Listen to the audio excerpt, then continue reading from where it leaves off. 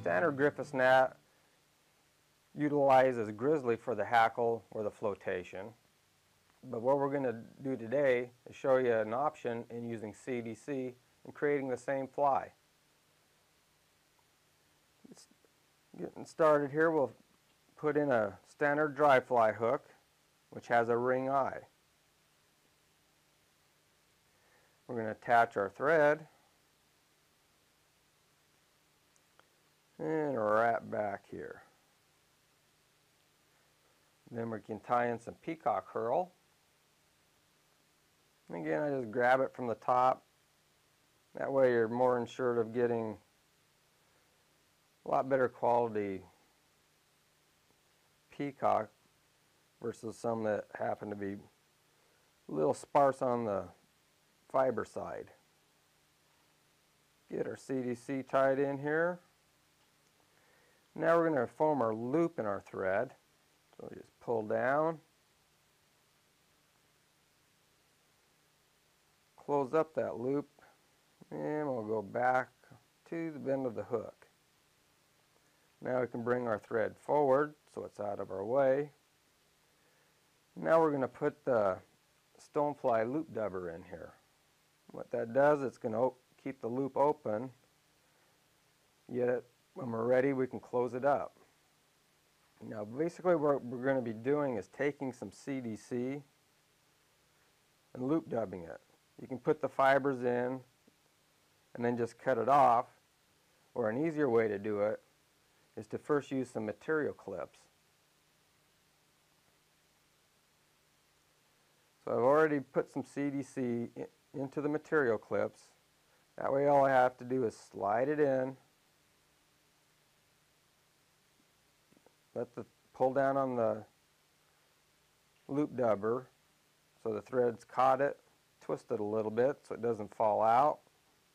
And I can add a little more CDC just to make sure that I don't run out as I wrap it down the hook shank.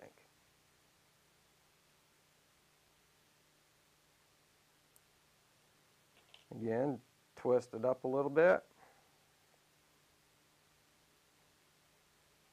Since we're doing this in a fairly good size hook, we'll just add one more clip full of CDC. Just to ensure that we have enough in there. Now we're going to twist the thread fairly tight. All you got to do is give it a quick little spin.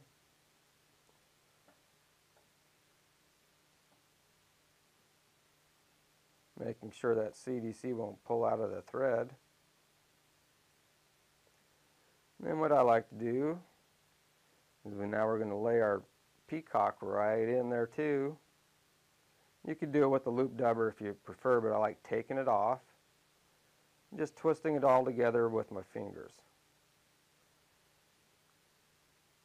One way to ma make it easier to twist is just put a little saliva on your fingers and it just gives you a little more grip to twist. And as I do that, you can see the CDC stand right out from the peacock, and the peacock fibers actually stand out from its stems as well.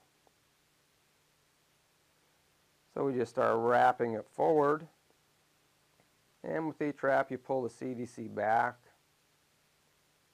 and just take one wrap right in front of the other, and we do this right down the hook shank till we get up to the hook eye.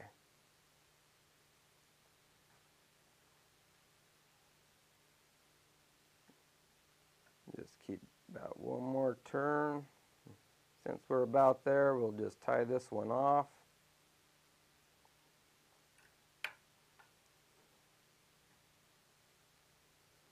And we're ready to snip off that excess. See if I can do without cutting my thread this time. Just build up a thread head. And we're ready to whip finish it off.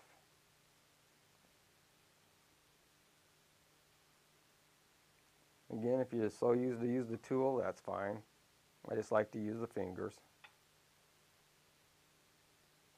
And cut off our thread. And what you ended, end up with is CDC that's palmered through or stuck right into the peacock, making it look like it's actually a part of the peacock.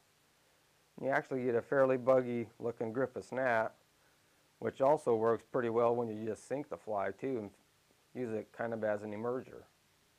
The Griffiths gnat is basically used as an adult midge cluster pattern, but it works great on brookies just about any time of year and any of your tailwater fisheries and spring creeks. And this is what I like to call the CDC Griffiths gnat.